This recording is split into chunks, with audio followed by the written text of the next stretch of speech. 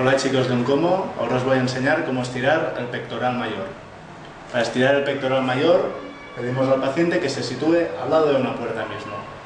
Lo que hacemos es poner el brazo en diferentes posiciones, depende si queremos estirar fibras inferiores, fibras superiores o fibras medias del pectoral mayor.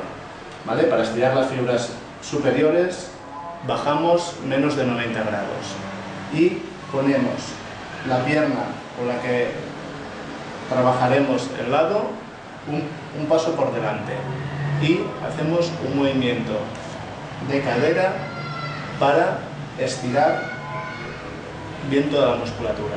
Es un ligero movimiento de rotación de cadera. ¿Vale? Ponemos al paciente en posición normal y primero haremos las fibras superiores, menos de 90 grados, y le pedimos que haga el movimiento de cadera, estire, estire, estire, y activamos las fibras superiores. Para las fibras medias, volvemos a la posición inicial, ponemos a 90 grados, y le pedimos otra vez el movimiento de cadera. Así estiramos las fibras medias. Y para estirar las fibras eh, inferiores, lo que hacemos es subir a más de 90 grados y le volvemos a pedir una inclinación de la cadera